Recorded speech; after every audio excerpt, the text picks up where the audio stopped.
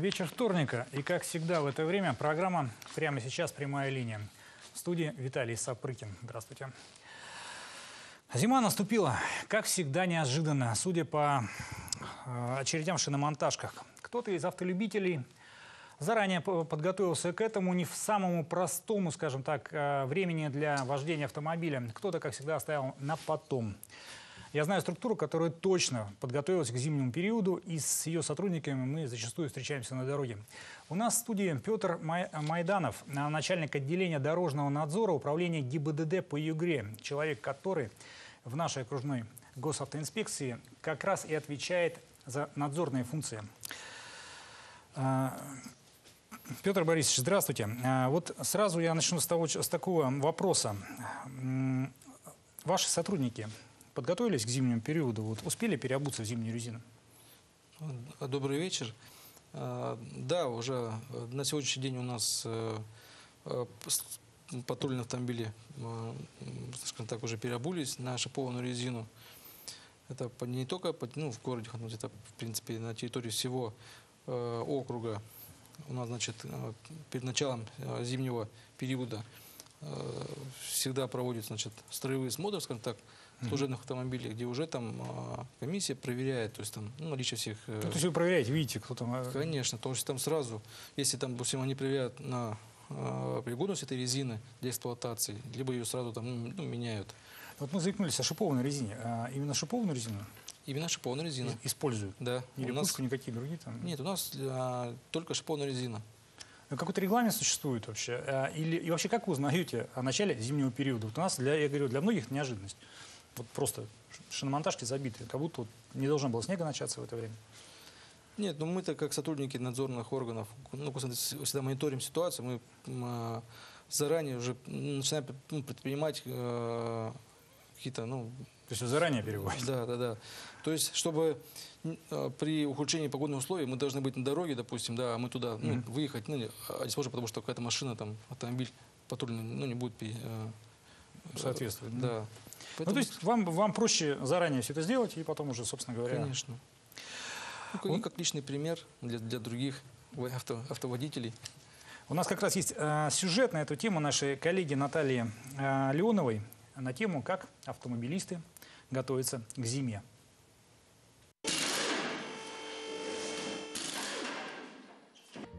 Снять четыре колеса, помыть, перебортовать, отбалансировать, проверить на наличие повреждений – это целый технологический процесс, который в среднем занимает 10-15 минут, с учетом, если работает бригада специалистов. Кстати, зачастую югорские водители выбирают именно шипы, нежели липучки. Шипы. А, более надежно. А, липучка, она не так отработает, как, как шипы пока идет сезон, у нас вот а, это напряженное время как раз шиномонтажа. Обычно в осенне-весенний сезон загруженность шиномонтажной мастерской составляет от 70 до 120 машин в день. И это не предел. Сегодня уже нет такого ажиотажа, как днем ранее, когда неожиданно для многих автолюбителей в Югре выпал снег, и ездить на летней резине стало небезопасно.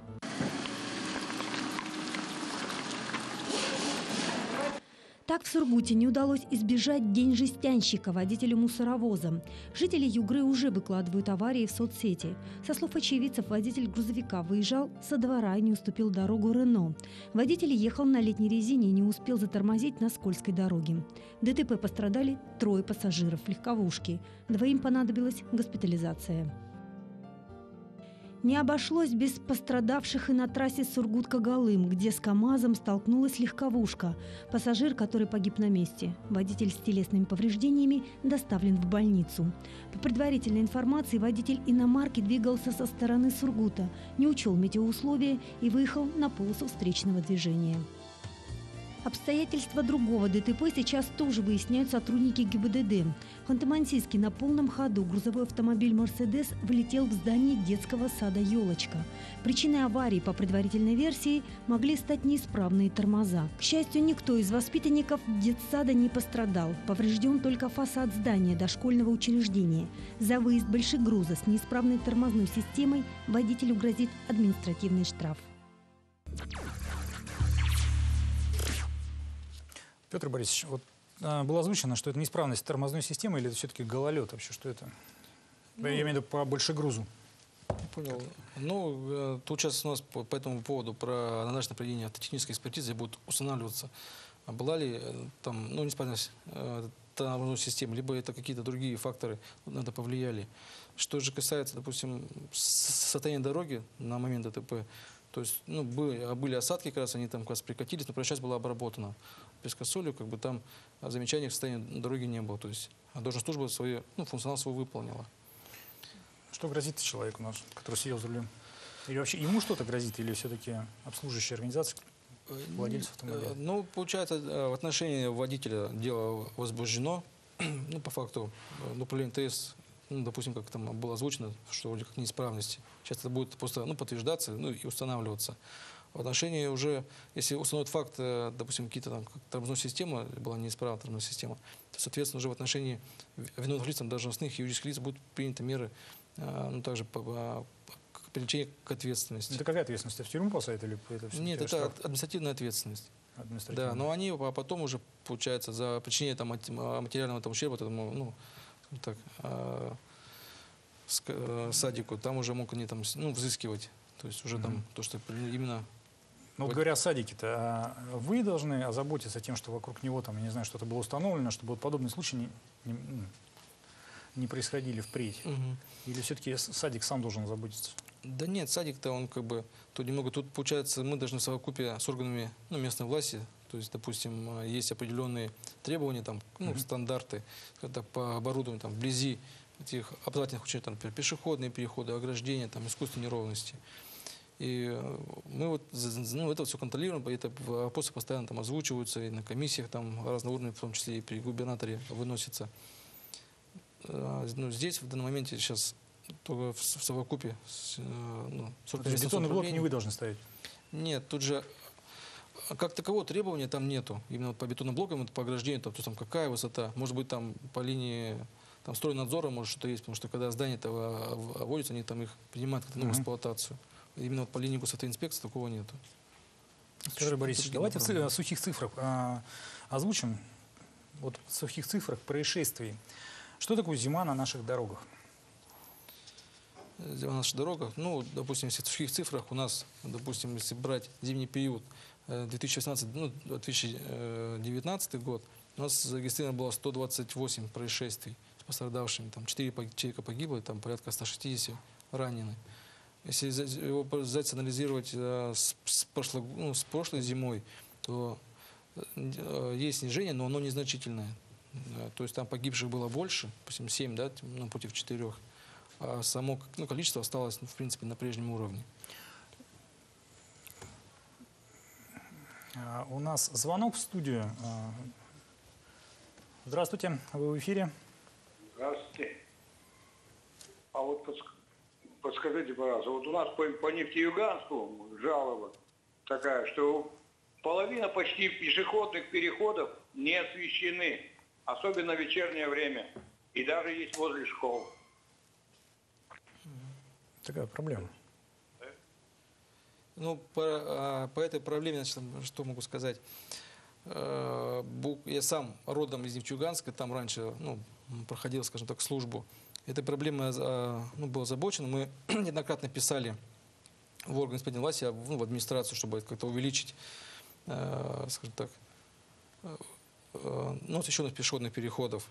Там эта проблема есть. На, на сегодняшний день у нас буквально две недели назад с представителями ОНФ э, значит, было совещание, где-то вот как раз момент озвучился, в том числе и около школ. То есть они там э, выразили ряд нареканий э, ну, администрации города вот по, что, по этой проблеме, ну, ну, проблематике. В настоящее время они сейчас этот, э, проводят обследование всех этих пешеходных переходов, и уже где будут э, со стороны госавтоинсп- э, госавтоинспекции приняты меры. То есть там представления направлены и, и со- со- соответственно привлечены э, должностные лица администрации к ответственности. Ну, то есть они, э, они освещение появится? А, Ну, ну да, оно появится. Но то это, это все, конечно, капиталоемкие э, ну, мероприятия, там, требуют большого, скажем так, э, ну, вложения денег, потому что когда э, там на памяти, если года 3-4 назад они э, меняли светильники, да, то есть они еще хуже, ну, то есть ухудшили освещенность, там, как в проезжей части, так это, это, это было только потому, что, ну, светильники, скажем так, ну, а, Ну, что там мало люксов было. Понятно. Лучше бы их, э, лучше бы старые оставили, да? Есть такое, да. В разных регионах, вот знаете, там читаешь сводки, э, ГИБДД заявляет, что зимой, е- зимой ездить стали аккуратнее даже, да? Ну, ДТП, может, и чаще случается, но мелкие, без погибших. Вот как в нашем регионе это дело обстоит? У нас не совсем как бы с погодными условиями это гладко. Ну, у нас, да, у нас э, водители все-таки все равно, пускай не все, конечно, но, но большая часть все-таки адекватно реагирует на погодные из- изменения. Ну, Допустим, опыт есть, да? Да. К тому же, если мы уже видим, что когда уже по, ну, а, видимость там менее 100 метров, мы уже э, вводим, скажем так, ограничения там автомобили, те же самые большие грузы, автобусы, просто ставим их и просим ну, ну, подождать, пока э, погода не улучшится. У нас только вот за эту зиму на памяти 4 ограничения движения мы вводили. То есть Это из-за того, что морозы стояли, туман? вот как раз вот такая вот а, переходный период, когда вот это вот а, плюс-минус погода и снегопады сильные, то есть там тонавирус ограничено. И водители, большинство еще не, ну, не успели переобуться. То есть мы их, значит, а, вставили ну, на обочину и, и просили их подождать. Там 2-3 часа, пока ну, погода не успокоится, чтобы можно было там в дальнейшем ехать. Вот если говорим мы снова о переобуться, возвращаясь э, к теме шипов, вы, вы лично на какой резине ездите? Я лично на шипованной резине езжу. Ну, Вот почему? Вот, именно почему на шипованный? Существует качественная достаточно липучка, как говорят. Ваше мнение? Ну, э, да, тут опять же, наверное, я ну, почему выбрал себе шиповную резину, наверное, по той причине, что у нас все-таки тут э, суровые зимы, э, обильные снегопады, и по моему мнению, что ш- шипованной резиной все-таки ну, коэффициент сцепления будет лучше, чем, допустим, с липучкой.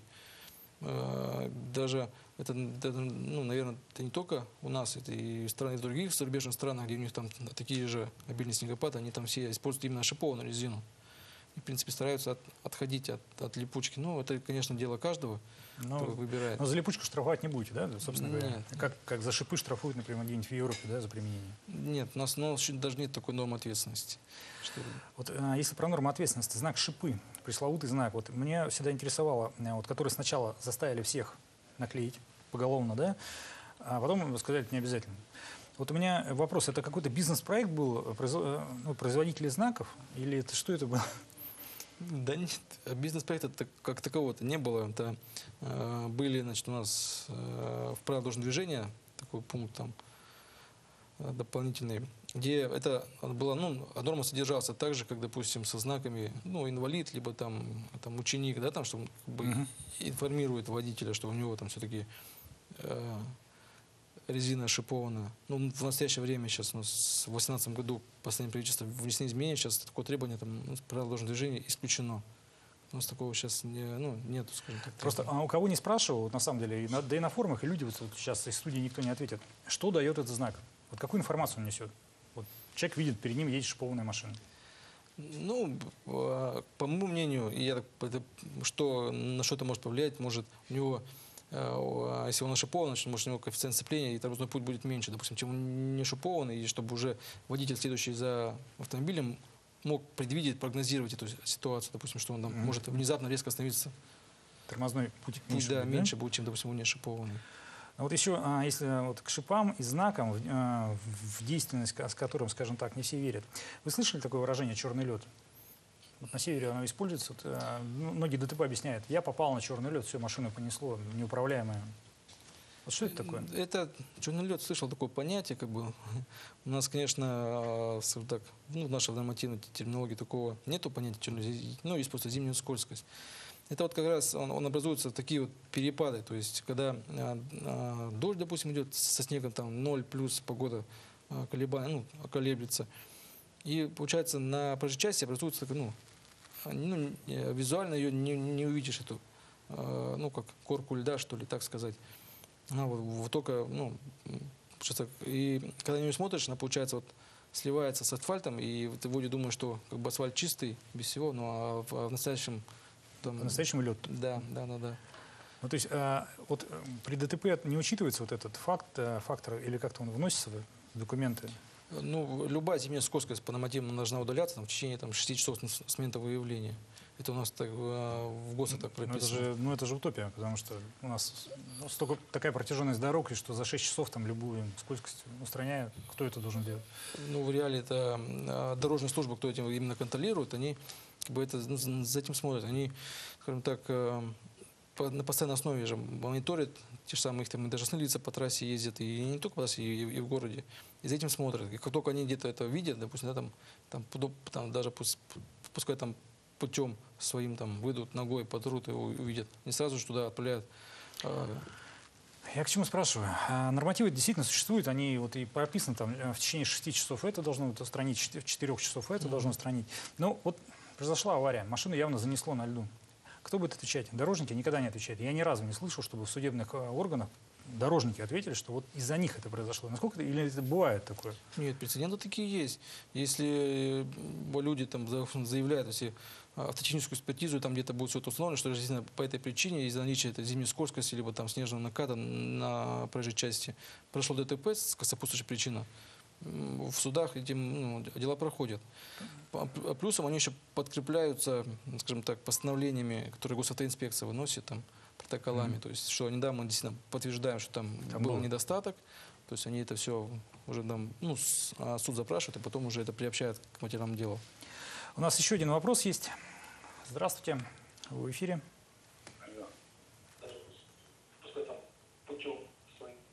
Алло. Да, здравствуйте, говорите. Здравствуйте. А вот такой вопрос. В район Нефтеюганск, Антимантийск, Нефтеюганск, вот очень много сделано зебр посреди дороги. И поворот налево получается никак. На прилегающие, ну, не- не- нельзя повернуть налево. Это, это как понимать? Потому что, ну, легковые машины, ладно, можно понять, а грузовая машина не развернуться на трассе никак, не попасть на месторождение. Вот это для чего сделано, интересно. Скажите, пожалуйста.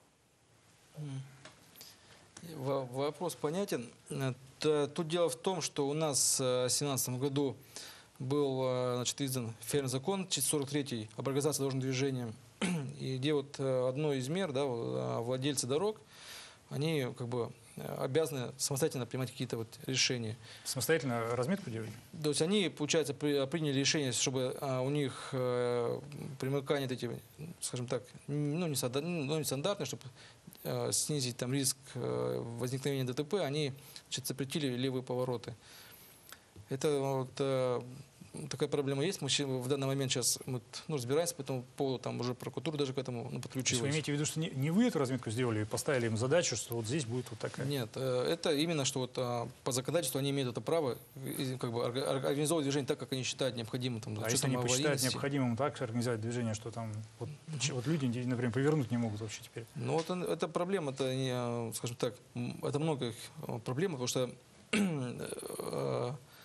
это в основном все на месторождениях, то есть там все эти Ну грузовые да. площадки, они вот и... Ну, естественно, если на больше груза говорят, да. Это не сейчас, мы сейчас, конечно, этот вопрос, я думаю, мы этот э, решаем, как это сделать там все правильно, потому что вроде с одной стороны владельцы правильно говорят, да, что мы там за безопасность этого движения мы так вот решили таким Мгм. путем, но надо искать какие-то альтернативные пути, другие пути решения, а не путем там запрета и, скажем так, э, понуждения водителей там увеличивать э, Радиус. ради- ну, нет, не раз, просто тоже, ну, чтобы развернуться там. А для каких месяцев, какая дорожная обстановка у нас характерна? Я про зимние месяцы спрашиваю. Когда у нас больше всего, ну, скажем так, бьются? Ос- Основной у нас массив происшествий это вот именно э, октябрь-ноябрь, это вот как раз вот э, Переходный. да, и, и окончание это март месяц. Вот даже в этом году тоже мы в марте месяце вводили ограничения по той причине, что просто уже все расслабились, все уже э, почувствовали, что приходит весна, и у нас там внезапно были обильные снегопады, и, и видимость была ограничена. И у нас тогда прошел рост происшествий, и мы там ну, вводили ограничения, чтобы его, ну, не допустить еще более То есть это не январь, а, не январские праздники? нет, такого никак. В основном э, новогодние праздники, вот эти, там интенсивность маленькая, все все-таки там отдыхают.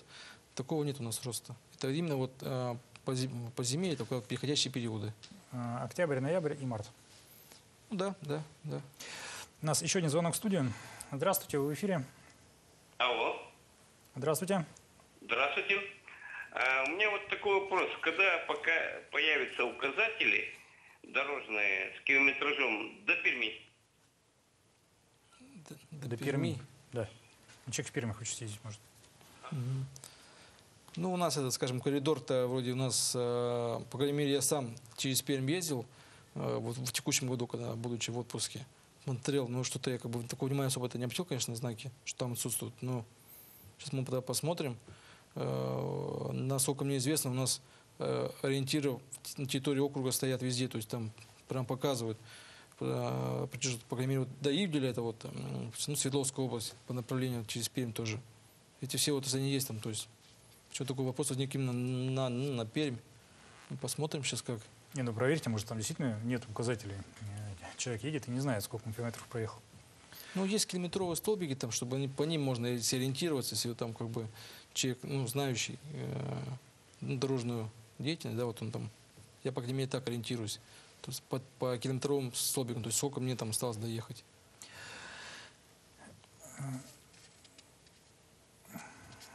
Еще один вопрос есть. Здравствуйте. Вы в эфире.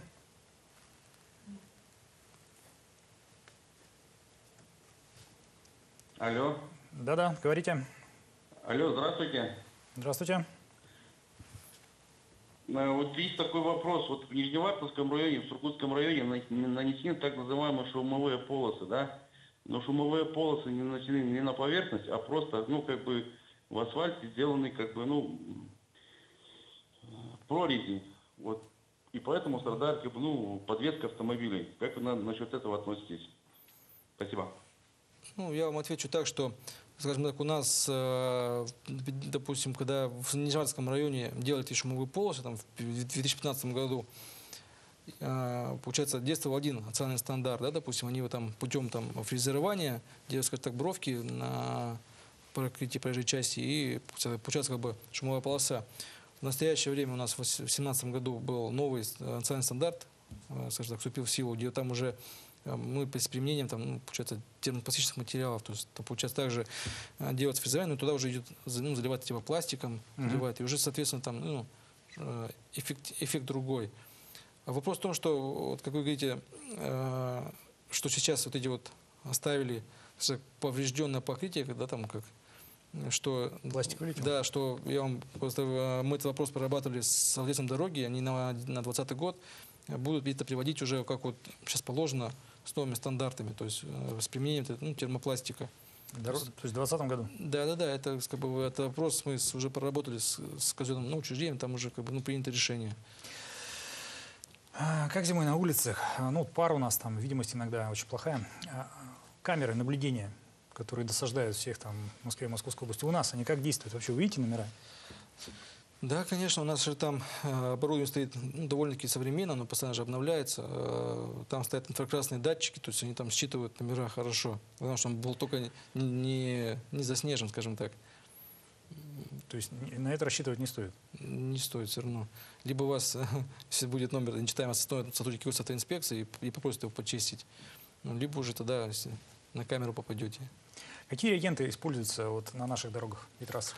Есть какой-то норматив? Ну, скажем так, допустим, а, мостовые переходы, да, там, ну, мосты у нас обрабатывают химреагентами, там, Нордвейн такой, ну, так называемый. Мгм. Как бы он, ну, скажем так, жидкость просто проливается, она как бы эф- эффективно, она прям, ну, разъедает и не позволяет образоваться скользкости. А если, допустим, взять а, дороги в городах и трассы, там а, пескосолью обрабатывается. Соль есть, да? Есть, Да, пескосоль, но не везде. Допустим, у нас есть такие территории где просто песком, допустим, как Югорск, Белоярский.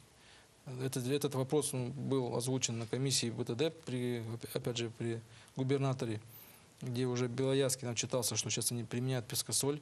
Как бы, ну, А это лучше? Ну ладно, без соль. Может, может, может, без соли лучше? Ну вот как нам показывают общественное обсуждение в городе Югорске, да, они считают, что все-таки соль, вот эта ну, пескосоль влияет на коррозию металла, как бы, что Ну да. скорее металл ну, покрывается коррозией, но при этом почему-то не берут в, ну, учет аварийность. То есть все равно содрать тот же самый образовавшийся накат после обильного снегопада без а, пескосоли Мгм. его гораздо тяжелее. То есть там при- приходится экс- экс- экс- эксплуатировать там большую, ну, большегрузную технику, там, те же самые там грейдеры. Понятно. То есть а, вот наша программа, к сожалению, подошла к концу. А, Петр Борисович, благодарю за то, что вы пришли к нам в теплую отапливаемую студию и рассказали о предстоящей зиме, которая, которая уже не просто близко, а уже началась. И что может нас ждать, собственно, в этот зимний период. А, Если вы а, пропустили какие-либо ответы а, нашего эксперта, то еще раз программу можете посмотреть на нашем портале югра.тв.ру. Я с вами прощаюсь. До следующего вторника на телеканале Югра.